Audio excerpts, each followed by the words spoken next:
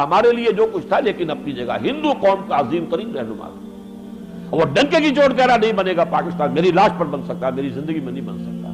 फिर बन गया, कैसे बन गया? उनके लिए हलाकत थी। हाल ये है, फ्रीडम एट मिड नाइट के जो मुसन्फीन है, उन्होंने साफ़ लिखा है कि नेहरू और पटेल दोनों ने हाथ जोड़ दिए, माउंट बैटन के सामने। हमारी हिम्मत नहीं है कि बापू के सामने जाकर हम कह सकें कि पार्टीशन ऑफ़ इंडिया को कबूल कर दिया जाए। हमारे अंदर ज़रूरत नहीं है।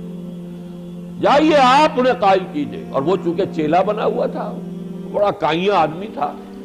नेहरू फैमिली के साथ उसके फैमिली रिलेशन जिस तरह के थे, वो भी आपको मालूम